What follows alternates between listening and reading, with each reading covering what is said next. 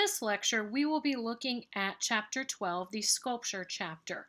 Um, I'm going to deviate a little bit from how um, it's discussed in your chapter or in the textbook. And what we're going to look at first is when you look at sculpture, I always I want you to look at it and first determine its dimensionality, and then I want you to look at its method of execution, meaning how is it made. So to start, we have, we're going to look at dimensionality. The first we're going to look at is what's called a relief. Relief sculptures can be viewed only from one side because they are projecting from the background. You can see that in the image here. This is part of the Parthenon frieze. And so you see the figures. However, if you went to the other side, there would be nothing to be seen because this is literally attached to the background.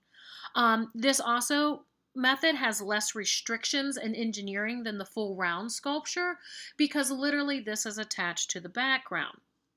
Relief sculptures are three dimensional, but they do maintain some two dimensional qualities, um, meaning that they are, at least on one side that's attached, flat. Um, we have what's called low relief or base relief, which you can see here.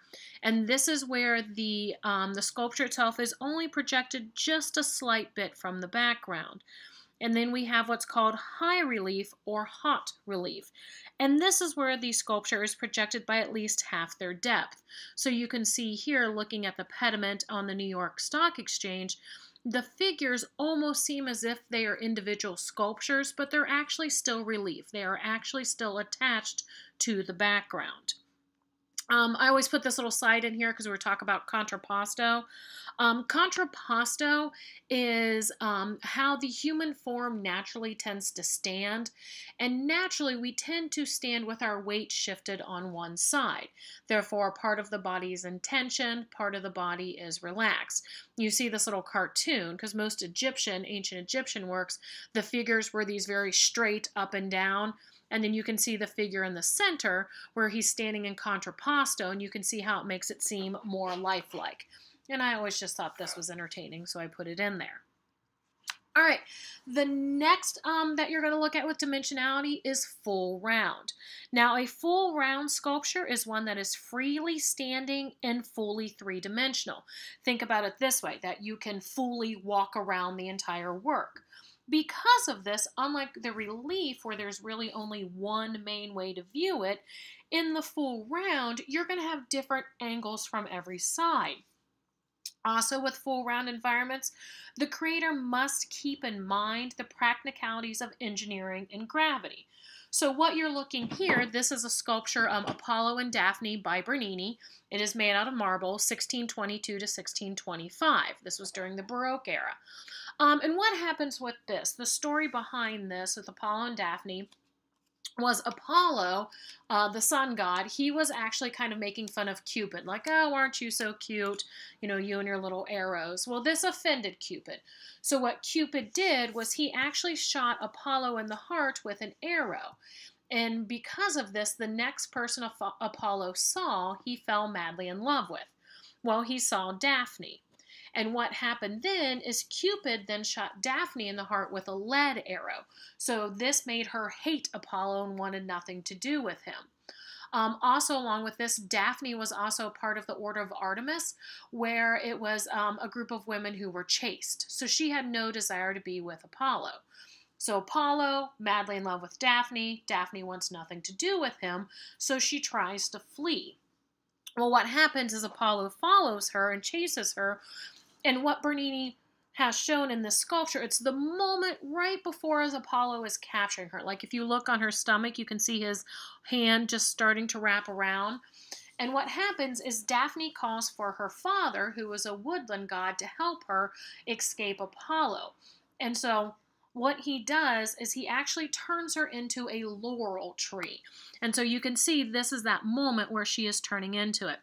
Here you can see another angle. And look at her hands, right? Her hands are turning into the leaves and the branches. Her hair is becoming the leaves. And so this is that moment.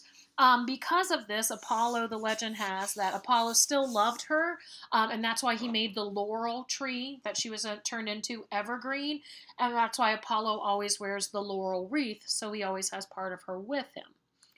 But back to the idea of the sculpture, right? So again, this is that moment Bernini is captured, yet he has to also keep the engineering in mind. So look at the base of this. Do you see how wide that is? And we can see Daphne's legs are turning into the trunk of the tree. If you look at this, right, if he had just made her legs normal, think of the engineering. This is made of marble. It would have been top heavy, and so it would have fallen over. So with these full round sculptures, um, the artist also has to keep in mind, right, the engineerings of it so it can be functional. All right, your textbook then talks some of what's called environments. Um, these are sculptural spaces where you can physically enter into and explore. Um, they can be either indoors or outdoors, but somehow they're contained, such as in a plaza. We'll see in a minute. Um, an example of this, we'll go back to that one. This was from your textbook. This is Ernesto Neto's uh, Taurus Mako Coppola in the Louis Vuitton store in Tokyo from 2012 and 2013. And what this was, is it was thousands of plastic balls suspended in netting that was then hung from the ceiling. And the idea is that you are meant to walk through it. And you can actually look, you can see the people standing in line to walk through it, and then look about halfway up, somebody's actually fallen. And so the idea within this, with this sculpture, is that the mind and the body become one. Thus, we the, the artist says, thus as we walk precariously along the catwalk, suspended in space, tottering, grasping for balance, our body mind becomes acutely aware of itself. And you see that in works such as this one. Uh, this is Richard Serra's The Matter of Time from 2005. Um, it was an installation of seven sculptures of weatherproof steel, and it was in the Guggenheim Museum in Bilbao, Spain. And if you look in the back right, you can see there's a person walking there. So you can see how, I, how large this was. And so the idea behind this one was that was that the viewer would walk through the plates and the plates slowly start to come in so they become almost impassable. And the idea is that as you become more and more aware of the space that you're in, right, time itself seems to either speed up or slow down, and you become more aware of your space an example of that think if you were you know walking down the hallway of your school or your work and all of a sudden the hallway started getting smaller and smaller and smaller you would become much more aware of the space that you're in and that's what he's doing within this work so this is example of these environmentals um, we'll talk about earthworks here in a little bit. Um, earthworks, these are large scale outdoor environments which are made of the land itself. So we'll look at that a little bit later. Um, but I want to spend a little bit of time here talking about Richard Serra's a different sculpture, and that's called Tilted Arc, and that's what you see right here. So Tilted Arc was actually installed in 1981, and it was commissioned by the federal government. And what it was, it was this large piece of weatherproof steel that was 12 feet by 120 feet, and it was two and a half feet thick. And it was actually placed in the Federal Plaza in Washington, D.C. And what happened was this was commissioned by the federal government as part of a program for supplying and supporting public art. Well, what happens is that with this work, after it was installed, people hated it. They said, you know, it blocked the space because the image we're looking at, um, it's right in front of the Federal Plaza, the Federal Building in Washington, D.C. So the photograph we're looking at, it's taken from inside the building. And so people were complaining that this tilted arc um, actually blocked the entrance and people had to be, you know, walk around it. Well, for Serra, that was exactly his point. He wanted people to become aware of the space they were in, while having to walk around this giant piece of steel made them aware of where um, their space. So what happens is people complained and complained, and there was actually a movement to get rid of tilted arc.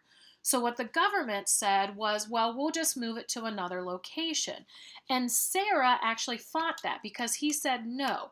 He designed this specific piece of art to be in this specific space, and that if you moved it somewhere else, it would destroy the meaning and the message of the artwork.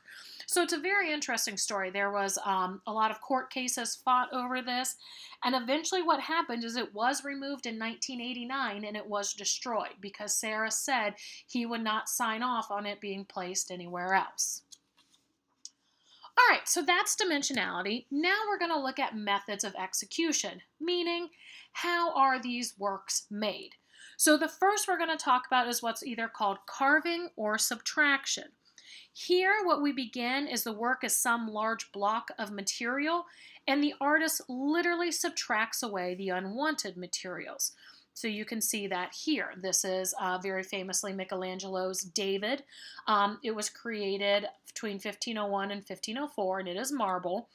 And it's interesting because Michelangelo says he did not create David, that he freed him from the block that he was already there. Um, historically, sculptors have worked with whatever materials were available. Stone has been the most popular. Why? Because it's the most durable. Um, igneous stone includes granite. It is does have a very hard mass. However, it is very difficult to work with.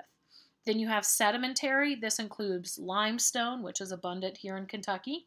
Um, it is durable. It carves very easily and actually polishes very well. And then we have metamorphic, and this is probably the most ideal, um, and marble is part of this. It's long lasting, it's durable, it carves easily, and it actually also exists in a broad range of color. So again, what happens with subtraction or carving, the artist, you know, starts with a large block. Usually they create an exact model of what they want to use out of clay or plaster or wax. And then they start cutting out sections with tools once they get down to about two to three inches of where they want to be, they're going to use much smaller, much more detailed um, tools. And you can see that in the work here. This is Yu the Great Taming the Waters. Um, this is made out of jade. In fact, it's the largest known uh, single piece of jade ever found. Um, this took seven years and eight months to complete. Now, it is a full round sculpture, right? We can fully walk around it, see it from different angles. But what's interesting, if you kind of zoom in on your own, you can see it's also covered with what we could argue are relief sculptures. And then here is a last carved piece. Um, this is by Donatello. Um, it's called Magdalene Penitent, um, and it's uh, circa 1453 to 1455. And this was actually made out of wood, out of white poplar. Pop, poplar, sorry. All right, next we're going to move on to what's called modeling or manipulation. And this is where the artist takes pliable materials and they are shaped by the artist's hands or tools. You know, think of a potter's wheel. Clay is the most common. Why? It's a natural material that is found worldwide. It can be manipulated and then it retains its shape. However, clay to become waterproof and more durable, it needs to be what's called fired. And this is where you bake it normally between 1200 to 2700 degrees Fahrenheit in a kiln or an oven. And again, this causes it to become hard and then waterproof. And this is what we call ceramics. Um, here's another work here. This is Case of Bottles. And you can see in this work, if you look at it, it looks old and cracked. Um, this was done very intentionally. The artist, uh, Robert um, Arneson, intentionally overcooked this so it got this kind of weathered old look. And then here's an example of a massive work of um, using modeling or manipulation. These are images of figures taken from the tomb of Qin Shi who was the first emperor of China. Um, he was famous because he unified the country under one code of law. Uh, this was the emperor who actually was uh, responsible for the building of the Great Wall. And when his tomb was discovered, it actually contained more than 6,000 life size, lifelike figures of ceramic soldiers and horses. These were there because they were meant to be the mortal bodyguards for the emperor. Um, it also contains some clerks, scribes, and other court figures. But what is really, really neat about this is these are all individual. It's not just they made one mold and kept making it. You can see here in some of the details that each one is an individual human. Um, on the left, I also included a work. Um, this is a set of bronze horses and the chariot uh, that was also within the tomb. So talking about bronze, we'll move to our next method of execution. And this is what's called substitution or casting. Um, casting, it also can be called replacement. So what happens in this, this form is where you transfer a material from a fluid state into a solid state. Now this method of execution always involves a mold. Um, the process, basically what happens is you create an identically sized model for the intended sculpture. You cover this with a positive material, for example, plaster. Um, when that's hardened, it remove, it's removed and it retains the surface configuration. This is what we call the negative, and this becomes the mold. Then we put it back together. The material is somehow poured in the mold, and when it is hardened and removed, you have the piece. Then you can polish it, finish it if you need to. Um, bronzes are probably the most popular example of this, which you can see here. And here, the textbook talks about what's called the lost wax technique. Um, this is the thinker that is on University of Louisville's Belknap campus. This was originally made, first made in Paris. Um, this one, there are, I think, eight copies of it. This was made by Rodin. And I think there are eight copies. However, this one was the only one that was cast using this lost wax technique. And that's what I've actually included for you, this YouTube video. So you'll have to exit the lecture, go to the posted slides, and watch this video. But it's actually a video showing you the lost wax technique. Um, I think it's much easier to understand when you actually see it. Um, another example of material that is used in this method of execution it's, um, is fiberglass. And so here you see an example of a fiberglass sculpture. All right, next we're going to go to the fourth uh, method of execution, and this is what's called assemblage or construction. And it's exactly what it sounds like. You start with a small amount of raw material and you add the elements together. So the idea of an assemblage base, it literally means the process of bringing individual objects or pieces together to form a larger whole. So this is what's called a built sculpture, works executed with construction method. And you can see that here with the Statue of Liberty, right? When the Statue of Liberty came from France, it was in many separate pieces and literally had to be constructed. And now we can even talk about the pedestal that she is on. This is a building, but it was also constructed. Um, another example, this is by Louise Nevelson. It's called Sky Cathedral, 1958, and it is wood painted black. Now, what she would do is this is a, um, a, um, a collection of what's called found objects, meaning literally objects she would go out and find. And what she was very interested in was she would go to these um, furniture factories and she would go and just pick up the discarded pieces of wood. So that's what she's done here. She's placed them all in these wood boxes, and then she paints the entire work black. So by painting it all this one solid color, right, it's in a way that it makes it unified. Because if you look at this, this is made up of hundreds of small little pieces. Um, what she was doing with this is that she actually wanted them to reflect the idea of altarpieces. So while this work is technically a full round, it also has some of those relief qualities because if we stood behind it, we would just see the flat boxes. Where on from the front angle where we're seeing, you know, we see a totally different view. Um, another example of a built work, this is a Puppy by Jeff Koons.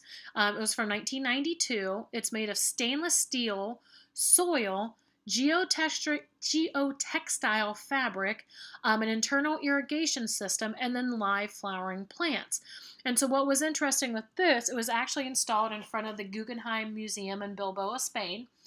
And what he does here was this is a work that also would uh, develop over time. It's kind of like a giant chia pet, right? When he first created it, you didn't see the flowers, but as time went on, the flowers grew and they bloomed. You get the puppy that we see here. All right, so those are the four methods of execution. Now we're going to spend a little bit of time talking about installations. Um, installations, these are um, works that introduce sculptural and other materials into a space in order to transform our experience of it. Here is a very famous one. This is called Cloud Gate, um, commonly known as the Bean. It was created by Anish Kapoor in 2004, and it is made of stainless steel, and it's in the Millennium Park in Chicago. This actually weighs over 100 tons. And so what the artist was trying to do is they were definitely trying, he was definitely trying to change our awareness and our experience of the space. And so what he says, He says, What I wanted to do in Millennium Park is make something that would engage the Chicago skyline so that one will see the clouds kind of floating in with those very tall buildings reflected in the work. And then, since it is the form of a gate, the participant, the viewer, will be able to enter into this very deep chamber that does, in a way, something to one's reflection as the exterior of the piece is doing to the reflection of the city around. So to experience this, you are literally supposed to walk through to walk under it there. And it's intentionally made to change how you experience the space. All right, next we're going to go back to these ephemeral or environmental or earthworks.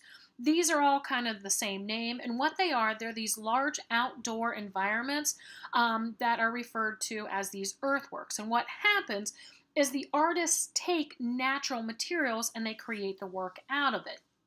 So the example you see here, this is Robert Smithson's Spiral Jetty, and it's in the Great Salt Lake in Utah. Uh, this was created in 1969 to 1970. It's made of black rock, salt crystals, earth, and red water. And what under what happens with this, it's made of the natural material. So over time, it is going to naturally erode and deteriorate. And you can see at the image in the bottom right that depending on the time of the year, sometimes when the lake floods, you can barely see the work, or at times it's completely covered up. And so that's part of what is meant with this earthwork. In fact, Smithson said that he understood over time that the earthwork would be subject to the vast changes in the water level that characterize the Great Lake itself. And so that's part of the work. Um, also, the book quickly talks about what's called found objects or found sculptures or objects to art. Um, I always think this is a very interesting concept because the idea is these were works of art that were not created by man, they were created by nature and they're just found in nature. Um, think of like driftwood, stone sculptures, stuff as that.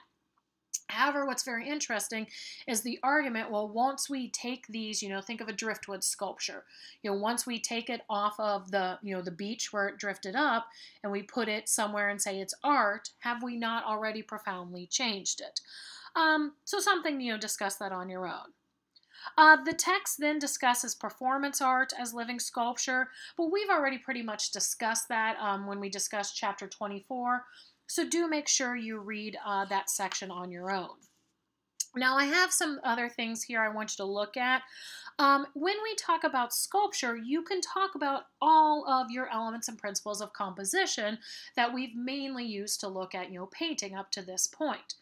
I want you to think about also when you're looking at these works about the lighting and the environment they are in. For example, here you're looking at Maya Lin's Vietnam Veterans Memorial. Um, it opened in 1982 and it is black granite and it's 493 and a half feet and it's in Washington, D.C. And so part of Lin's design of this is very, very intentional playing with the environment it's in. As you walk in it, you go kind of lower into the ground. So literally you're going in then coming out of the war and how it's um, presented on the National Mall in Washington is one end points to the Washington Memorial, one in, or I'm sorry, the Washington Monument, and one end points to the Lincoln Memorial. And you can see that here. Um, other works that take into this environment, here you're looking at reflecting absence. This is one of the 9 11 memorials. This is the one in New York City. Um, reflecting absence, he very much took the environment into account because, you know, this is in downtown Manhattan, which is very loud. And what Michael Arad did with these waterfalls, they're waterfalls that were placed where the footsteps of the Twin Towers were. Um, they're actually the largest man made waterfalls in North America. And what he wanted is when you stand there, the sound of the waterfalls kind of blanks out downtown Manhattan, all those noises. So you become acutely aware of the space that you're in. So I want you to look just at some of the other slides and think about um, how these other elements of composition, um, elements of principles of composition, are used within the works. And so think about that as you read the rest of the chapter.